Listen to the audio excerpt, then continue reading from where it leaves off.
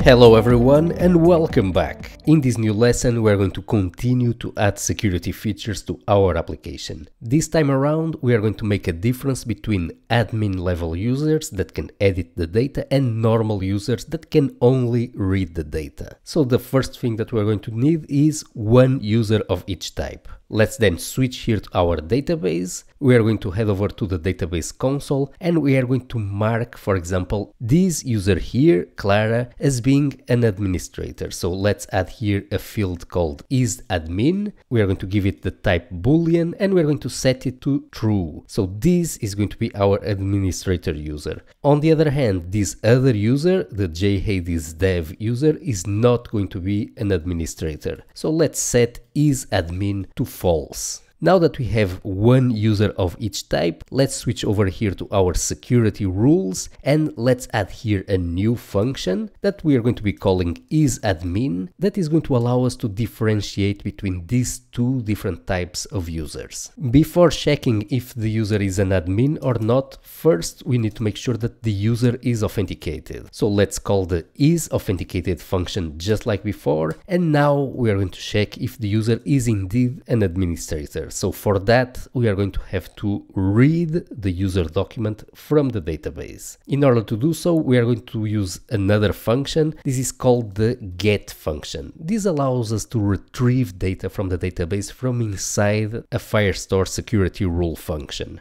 The syntax for accessing this document is similar to the one that we have used here on our exists call. So we are going to take this path, which is the path to the user document, and we are going to apply the path here in our get call. So this get call is going to give us back a document snapshot object that contains both the data and some metadata of the corresponding document. In this case, we want to access directly the data property of the document snapshot. And from there, we want to check the value of the isAdmin property. So this user is going to be considered an administrator if the isAdmin property is equal to true. Let's now use the isAdmin function in order to grant write access to admin users. We are going to head over here to the courses collection and we're going to allow here a write operation to go through, but only if the user is an administrator. Otherwise this condition is going to fail and the write access is going to be denied. Let's apply a similar logic here to the lessons collection. We are now going to publish this new set of rules and once the rules are propagated we are going to switch here to our application and we are going to try to edit the data using the jhadesdev user.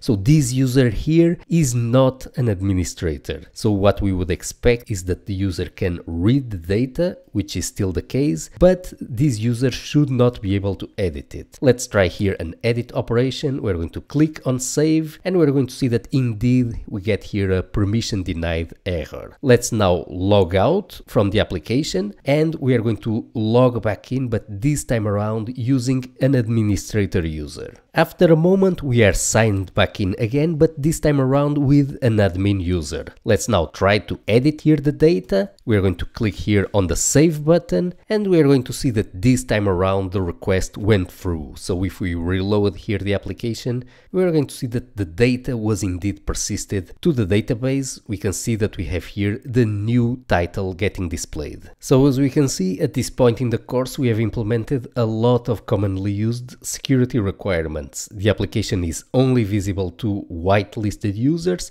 and there is a difference between admin level users and normal users. Now let's take our security rules one step further. We're going to see how these rules can also be used to implement something similar to a database schema, just like we have in SQL databases.